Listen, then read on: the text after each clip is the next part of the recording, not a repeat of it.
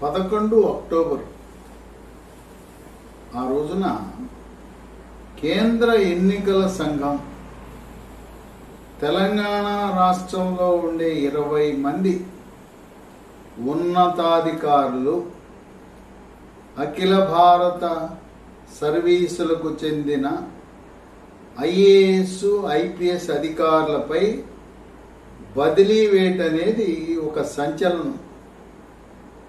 బహుశా కేంద్ర ఎన్నికల సంఘం యొక్క చరిత్రలో ఒక్క రాష్ట్రంలో ఎన్నికల ముందు ఇరవై మంది సీనియర్ అధికారుల బదిలీ అది కూడా బదిలీ ఆదేశాలు ఎక్కడి నుంచి వచ్చినాయి?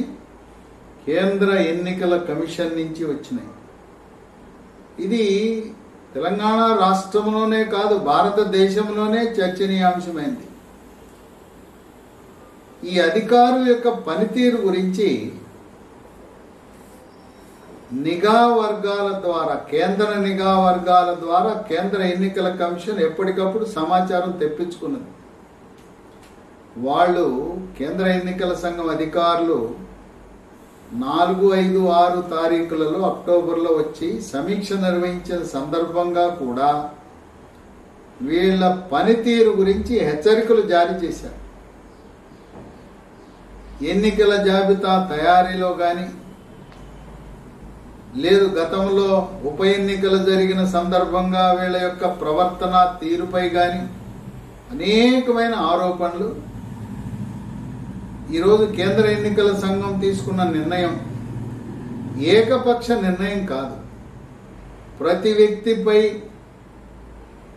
ఇన్ఫర్మేషన్ బ్యూరో ఐబి కేంద్ర నిఘా సంఘాల యొక్క నివేదిక ఆధారంగానే వీళ్ళను వెంటనే విధుల నుంచి తప్పించమని చెప్పి తెలంగాణ రాష్ట్ర ప్రధాన కార్యదర్శి శాంతికుమారికి ఆదేశాలు ఇచ్చారు.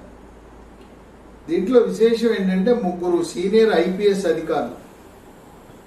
వాళ్ళను తప్పించటం ఒక సంచలనమైంది. పోలీస్ శాఖలో చర్చనీయాంశమైంది. హైదరాబాద్ నగర కమిషనర్ సివి ఆనంద్ వరంగల్ నగర కమిషనర్ రంగనాథ్ నిజామాబాద్ కమిషనర్ సత్యనారాయణ. ఈ ముగ్గురు కూడా గతంలో పలు సందర్భాల్లో వార్తలకు ఎక్కిన వ్యక్తులే. వీళ్ళు ప్రభుత్వానికి అనుకూలంగా ఉంటారని ప్రభుత్వం ఏం చెప్తే అది చేస్తారని చెప్పి నియమ నిబంధనలను పక్కన పెట్టి ప్రభుత్వ పెద్దలను వాళ్ళను వాళ్ళ యొక్క ప్రేమ పాత్రలు కావటానికి తగు నిర్ణయాలు చట్టాన్ని పక్కబెట్టి చేస్తాడనే ఆరోపణలు కూడా ఈ ముగ్గురిపై ఉన్నాయి. ఇక ఈ ముగ్గురితో పాటు మరో పది మంది జిల్లా ఎస్పీలు వీళ్ళెవరు కూడా ఐపీఎస్లు కాదు. వీళ్ళంతా నాన్ క్యాడర్ ఎస్పీలు. అంటే ప్రమోషన్ మీద ఎస్పీలు అయ్యారు ఇంకొక ఆరోపణ ఏముందంటే తెలంగాణ రాష్ట్రంలో అఖిల భారత సర్వీసుల ద్వారా యూపీఎస్సీ ద్వారా ఎంపిక జరిగి ఎంతో ప్రతిభ కలిగిన యువ ఐపీఎస్లను లూప్ లైన్లో పక్కన పెట్టి వీళ్ళను వీళ్ళైతే మన మాట వింటారు మనం చెప్పినట్టు చేస్తారని చెప్పి ఈ పది జిల్లాలలో ఐపీఎస్ లేని నాన్ క్యాడర్ ఎస్పీలు నియామకం చేశారని ఆరోపణ ఉంది వాళ్ళు సంగారెడ్డిలో రమణ కుమార్ జగిత్యాల్లో భాస్కర్ జోగులాంబ గద్వాల్లో సృజన మహబూబ్ నగర్లో నరసింహ సూర్యాపేటలో రాజేంద్ర ప్రసాద్ కామారెడ్డిలో శ్రీనివాసరెడ్డి నాగర్ కర్నూలులో మనోహర్ జయశంకర్ భూపాలపల్లిలో కరుణాకర్ నారాయణపేటలో వెంకటేశ్వర్లు మహబూబాబాద్లో చంద్రమోహన్. వీళ్ళందరూ కూడా ప్రభుత్వ అనుకూల ధోరణి ఉంటుంది అనే ఆరోపణలు ఉన్నాయి దీంతో పాటు కొన్ని శాఖలకు పెద్ద అధికారులు ఉండవలసిన పోస్టులో చిన్న డైరెక్టరు కమిషనర్ స్థాయిలో ఉండి ఏదైతే ఎన్నికల నిర్వహణలో కీలకమైన శాఖలున్న వాణిజ్య పన్నుల శాఖ ఎక్సైజ్ శాఖకి చిన్న స్థాయి అధికారిని నియామకం చేశారనే ఆరోపణలతో ఎక్సైజ్ శాఖ కమిషనర్ని ముషారఫ్ అలీని అక్కడి నుంచి తొలగించారు. అట్లాగే వాణిజ్య పన్నుల శాఖ కమిషనర్ శ్రీదేవిని రవాణా శాఖ కార్యదర్శిని శ్రీనివాసరాజుని ఈ ముగ్గురిని అక్కడి నుంచి తొలగించారు. ఎక్సైజ్ శాఖకు వాణిజ్య పన్నుల శాఖకు కనీసం ముఖ్య కార్యదర్శి హోదా కానీ ప్రత్యేక ప్రధాన కార్యదర్శి ఉన్న ఉన్నత హోదా ఉన్న వారికి మాత్రమే ఈ బాధ్యతలు ఇవ్వండి అని చెప్పి కేంద్ర ఎన్నికల సంఘం ఆదేశం ఇచ్చింది ఇరవై నాలుగు గంటలు సమయం ఇచ్చారు. ఇరవై నాలుగు గంటల సమయంలో ఇరవై మంది స్థానంలో ప్రతి పోస్ట్కి ముగ్గురిని పంపండి ప్యానలు. వాళ్ళ గత ఐదు సంవత్సరాల వాళ్ళ యొక్క ట్రాక్ రికార్డు వాళ్ళ చరిత్ర వాళ్ళకి ప్రతి సంవత్సరము యాన్యువల్ కాన్ఫిడెన్షియల్ రికార్డ్స్ ఏసీఆర్లు అంటారు.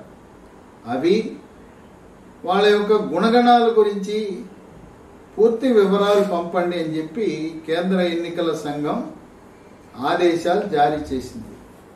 కేంద్ర ఎన్నికల సంఘం ఈ జాబితా వెళ్ళిన తర్వాత ఈ జాబితా మొత్తం నిఘా వర్గాలకు ఇచ్చి కేంద్ర నిఘా వర్గం అనే ఐబీకి ఇచ్చి ఇన్ఫర్మేషన్ బ్యూరో వాళ్ళ ద్వారా వీళ్ళ యొక్క గుణగణాలు నిబద్ధత నిజాయితీ పారదర్శకత రాజకీయంగా ఏమైనా ఏ పార్టీకైనా మద్దతు ఇచ్చే అవకాశం ఉందా అని గమనించి కేంద్ర ఎన్నికల సంఘం ఏ పోస్ట్ ప్రతి పోస్ట్కి మూడు పేర్లు పంపితే ఒక పోస్టుకు టిక్ పెట్టి పంపిస్తారు. తెలంగాణ ప్రభుత్వ ప్రధాన కార్యదర్శి వాళ్ళకి పోస్టింగ్ ఆర్డర్లు ఇవ్వడం జరుగుతుంది. ఇప్పుడు ఎవరైతే ఇరవై మందిని తొలగించారో వాళ్ళ విషయంలో మా ఆదేశం జారీ చేయగానే వెంటనే అక్కడి నుంచి తప్పించండి. కొత్త వాళ్ళు రావాల్సిన లేదు. ఈ ఇరవై మంది స్థానంలో ఆయన కింద ఉండే రెండో స్థానంలో ఉండే ఆయనకి పదవి బాధ్యతలు అప్పచెప్పి తొలగమనండి. ఎన్నికల ప్రక్రియ డిసెంబర్ ఐదుతో పూర్తవుతుంది. డిసెంబర్ ఐదు వరకు ఈ ఇరవై మంది అధికారులకు ఏ రకమైన ఎన్నికల బాధ్యతలు కానీ ప్రభుత్వంలో బాధ్యతలు కానీ ఇవ్వద్దు. వాళ్ళకి విశ్రాంతి ఇవ్వండి. వాళ్ళు ఇంట్లో ఉంటారు జీతం ఇవ్వండి ఏ రకమైన హోదా కానీ పోస్టింగ్ కానీ ఇవ్వద్దు. వాళ్ళు ఎన్నికల ప్రక్రియని నిర్వహించటంలో పారదర్శక లోపిస్తుందని మా భావం అని చెప్పి కేంద్ర ఎన్నికల సంఘం భావించింది. ఈ విధంగా ఒక్కసారి ఇలాంటి అధికారుల యొక్క సర్వీస్ రికార్డులో ఎర్రక్షరాలతో ఎన్నికల విధుల నుంచి తొలగించడం అనేది భవిష్యత్తులో వాళ్ళ ప్రమోషన్లకు పోస్టింగులకు వాళ్ళ సర్వీస్ ట్రాక్ రికార్డుపై కూడా ప్రభావితం చేస్తుంది. ఎప్పుడైతే ఇంత పెద్ద పెద్ద ఆఫీసర్లను తప్పించారో కింది స్థాయి పోలీసు రెవెన్యూ అట్లాగే విద్యాశాఖకు సంబంధించిన టీచర్లు అందరూ కూడా మనకెందుకు వచ్చిన గొడవ? రూల్ ప్రకారం వెళ్ళిపోదాం. మనం ఎవ్వరు కూడా ఎవరి మాట వినద్దు. ఎన్నికల కమిషన్ పుస్తకంలో ఏమి రాసి ఉందో అదేం చేద్దాం. ఎవరికి మనం మద్దతు ఇవ్వవలసిన అవసరం లేదు. తటస్థ వైఖరి పారదర్శకతో నీతిగా నిజాయితీగా నిబద్ధతగా విధి నిర్వహణ చేద్దాం. ఎందుకంటే ఎన్నికల కమిషన్తో పెట్టుకుంటే వాళ్ళ అధికారాలు విశేష అధికారాలు. వాళ్ళు ప్రభుత్వ ఉద్యోగులను ఉద్యోగం నుంచి తొలగించవచ్చు వాళ్ళందరికి వాళ్ళు సస్పెండ్ చేయొచ్చు బదిలీ చేయొచ్చు. ఒక్కసారి ఎన్నికల సంఘము చర్య తీసుకుని అది సర్వీస్ రిజిస్టర్లో దాన్ని ఎంటర్ చేస్తే ఉద్యోగి యొక్క ప్రమోషన్లు బదిలీలు పోస్టింగ్లు అనేక అంశాలపై ప్రభావితం పడుతుంది. అందువల్ల పెద్ద స్థాయి అధికారులపై ఎప్పుడైతే వేటు పడిందో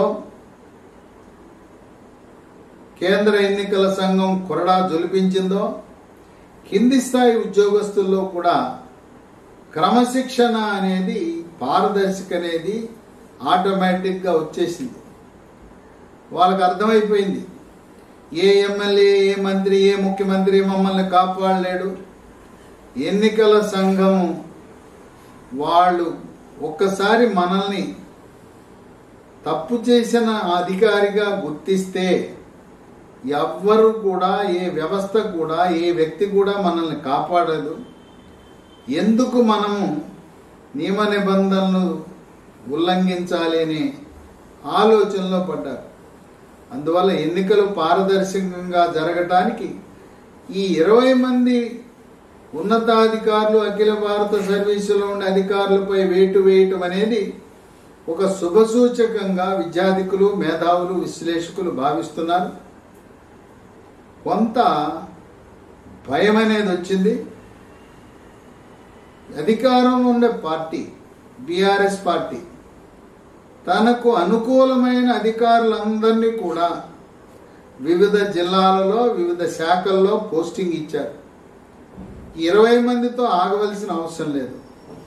ప్రతిరోజు నిఘా వర్గాల ద్వారా సమాచారం సేకరిస్తూ ఎవరైతే ఎన్నికలు స్వేచ్ఛాయుత వాతావరణంలో నిర్వహించడానికి ఆటంకం కలిగిస్తున్నారో రాజకీయ పార్టీలతో సమావేశమై వాళ్ళతో సంప్రదిస్తూ రాజకీయ పార్టీలకు అనుకూలంగా ప్రవర్తిస్తున్నారో అటువంటి ప్రభుత్వ ఉద్యోగులను గుర్తించి వారిపై కూడా వేటు వేయటానికి ప్రతిరోజు సెల్ ఫోన్లను కూడా వాట్సాప్లను కూడా మానిటరింగ్ చేస్తూ సెల్ టవర్ల ద్వారా మానిటరింగ్ చేస్తూ ఏం జరుగుతుందో ఎప్పటికప్పుడు కేంద్ర ఎన్నికల కమిషన్లో ఒక ప్రత్యేక సెల్ ఏర్పాటు చేశారు.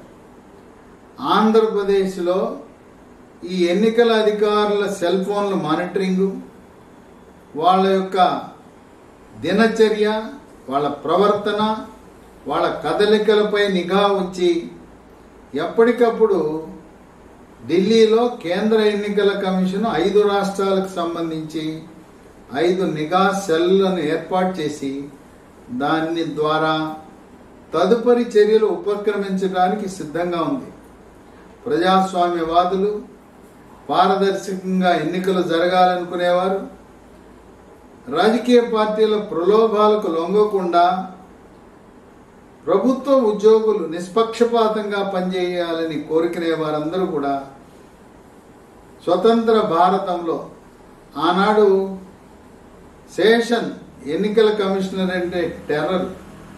ఆయన కూడా ఒక రాష్ట్రంలో ఇరవై మంది అధికారులు బదిలీ చేసిన దాఖలాలు లేవు.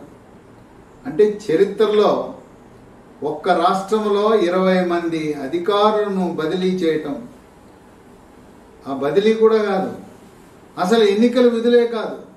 ప్రభుత్వ సేవలు అందించడానికి కూడా ఎన్నికలయ్యే వరకు వాళ్ళకి అర్హత లేదు అని ప్రకటించడం అనేది ఒక విశేషంగా విశ్లేషకులు భావిస్తున్నారు. ఏదేమైనా ఇలాంటి చర్యల వల్ల ప్రభుత్వ ఉద్యోగస్తుల్లో జవాబుదారీతనం పెరిగి ఎంతో కొంత భయంతో ఉద్యోగం పోతుంది సస్పెండ్ చేస్తారు ఉద్యోగాన్ని నుంచి తొలగిస్తారనే భయంతో రాజకీయ పార్టీలకి అనుకూలంగా ప్రవర్తించడం మానివేస్తారని విశ్లేషకులు భావిస్తున్నారు.